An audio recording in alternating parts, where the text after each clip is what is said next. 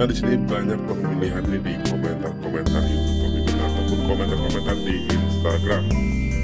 Ada yang berkomentar nih katanya sudah mulai curiga jangan-jangan antara Azab dan Haiko Pekan sudah putus dan jangan-jangan antara Haiko dan Azab sudah mempunyai pacar masing-masing dan tidak bersatu kembali. Itu salah satu komentar uh, di Instagram ya dan di YouTube juga ada yang berkomentar seperti itu.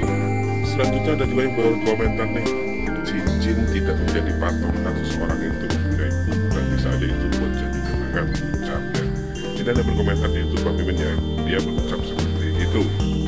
Nah tetapi masih lebih banyak nih yang mendoakan yang selalu menyupport hubungan Azab dan Haiko menyampaikan walaupun mereka tidak pernah terlihat bersama lagi tapi mereka ini para fans-fans sejati masih terus mendoakan Azab dan Haiko Van agar bersatu dan satu paket kembali Oke buat sahabat semua di mana pun berada Mungkin kalian pernah ingat dengar kata-kata salah satu peramal kondang yang pertama terkenal yang mengatakan Azab dan Haiko Pantopekan ini bakal dipisahkan dan bakal bersatu kembali. Mungkin kalian semua masih ingat akan hal tersebut. Nah ini terjadi ya saat-saat ini ya.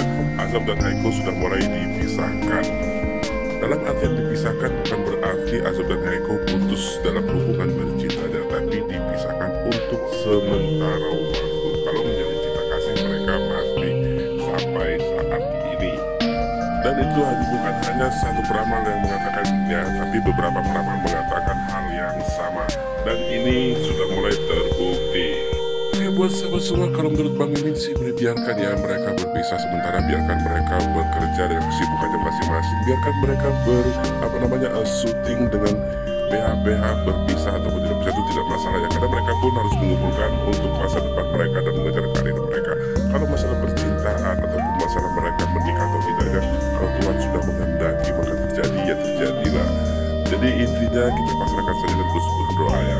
Karena jodoh tidak akan ke mana toh walaupun berpisah pasti akan bertemu kembali Oke buat sahabat semua yuk kita lihat aja nih kenangan-kenangan uh, kebersamaan Adam dan pada pekan yang selalu kita nantikan hingga saat ini. Check it out.